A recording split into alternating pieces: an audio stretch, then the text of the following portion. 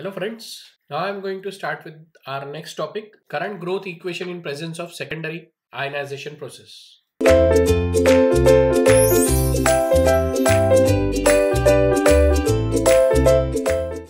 The secondary ionization process is already discussed in last class. Here we have to derive the current growth equation under that process. So considering same circuit having two electrodes separated by a certain distance that is small d. Negative is given to the electrode attains cathode and positive is given to another electrode represented as anode. Here I just start with the primary ionization. The photon energy which falls on the cathode releases one electron. Now let that number of electrons be n0. We'll define those number of electrons in next slide. So this electron when collide with the neutral molecule release one electron with the initial electron and one positive ion. Now here we have three sub processes which initiates the electrons. First is when this positive ion bombards on the cathode workplace this bombardment uh, releases one electron or few more number of electrons. We are going to represent that number of electrons as n plus. Another point is, another sub-process is, during this collision and the bombardment, the atoms which are excited due to the friction, due to the friction. Because every collision bombardment not only release the electrons positive ions but also the friction between that increases the heat. This rise in temperature that is heat releases the photon energy and this emission of the photon energy emits the electrons so first process, we get the liberation of electrons that is due to the bombardment. Second, due to again the photon energy which is developed due to the excited atoms. And third, with the metastable particles which emits the electrons. So this is responsible to emit the electrons and hence then follow the primary ionization process. Primary ionization process. Now, let us do the derivation after this understanding. Let N0 be the initial number of electrons which are released from the cathode then n plus again it is number of electrons released from the cathode but this is due to the photon energy which falls on the cathode and this is due to the positive ion bombardment positive ion bombardment. So we have this. Now we can add both the number of electrons so that we can call it is a total number of electrons released from the cathode. Total number of electrons released from the cathode. It may be due to the photon energy or it may be due to the positive ion bombardment. Now, let n be the total number of electrons total number of electrons reaching to anode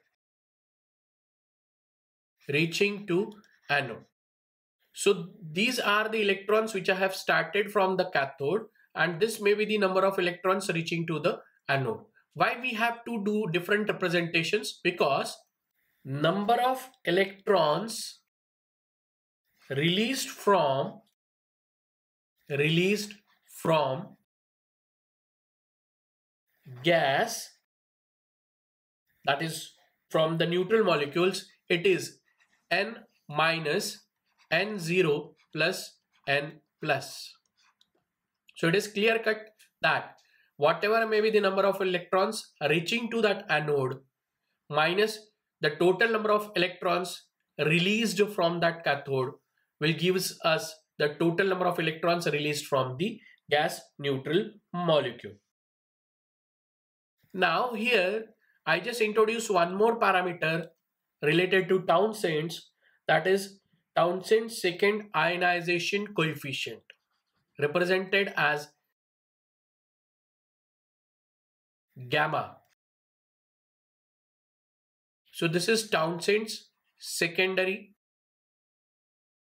or Townsend's second ionization coefficient. The definition of this is similar to the alpha and it is the number of electrons release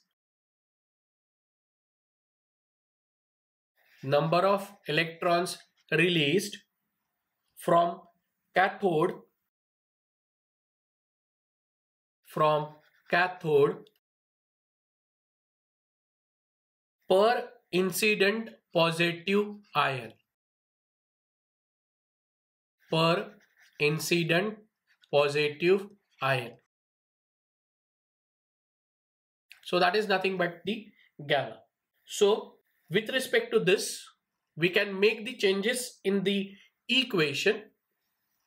As we know, the initial equation in primary ionization, current growth is written as with the number of electrons n is equal to n0 into e to the power alpha d. That was derived in first case that is current growth in primary ionization process. But due to the additional number of electrons released from cathode, the equation has changed to N0 plus N plus e to the power alpha d. This is n equal to N0 plus n plus into e to the power alpha d. Now I just call this as equation 1. So corresponding to each electron released from the cathode, there will be one positive ion and each positive ion released gamma effective electrons from the cathode. Therefore, we can write down this as N plus is equal to gamma in bracket N minus n0 plus n plus. So every gamma releases the electrons from the cathode and that is represented as n plus be the number of electrons after bombardment. So n plus is equal to gamma in bracket. These are nothing but the number of electrons released from gas that is number of electrons released from gas. So now if I just multiply this term, I get gamma n minus gamma n0 minus gamma n plus. Collecting n plus terms, I get 1 plus gamma as n plus is present on the left hand side of the equation. So gamma n plus and this n plus collected together where that sign has changed it is equal to now that gamma is taken common I get this by writing the expression for, so here I just write implies n plus is equal to gamma n minus n0 divided by 1 plus gamma. Consider this as your equation 2. Now, put equation 2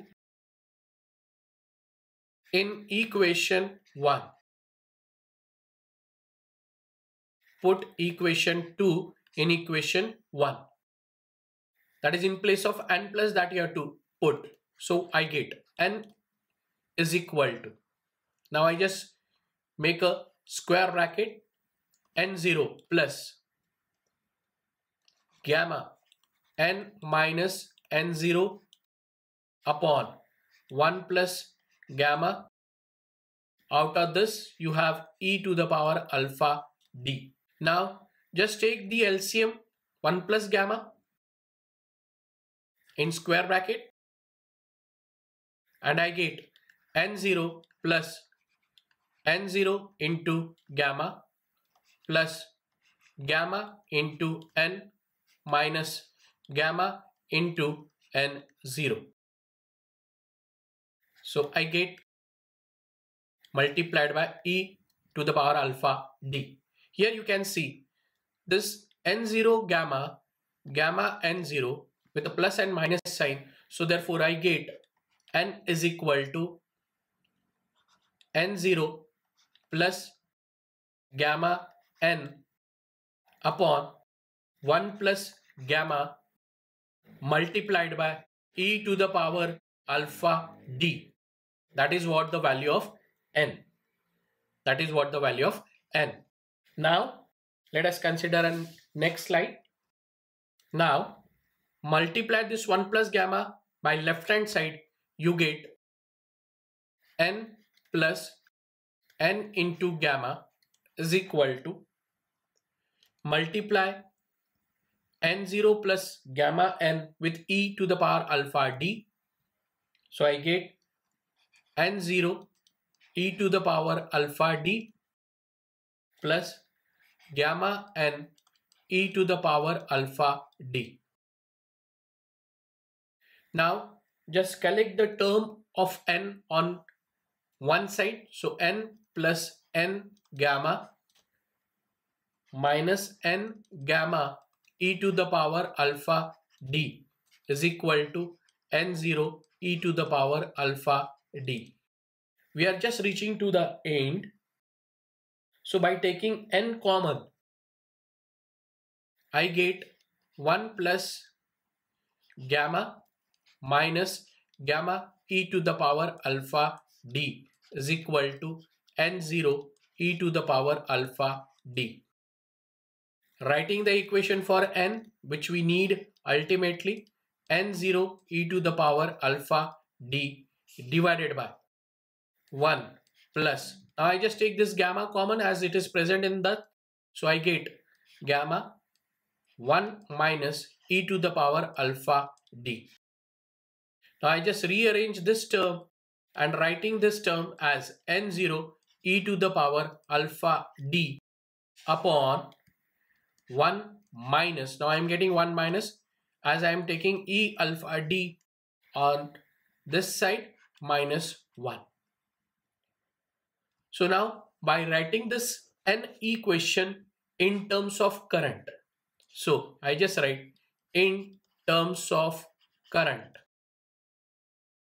In terms of current.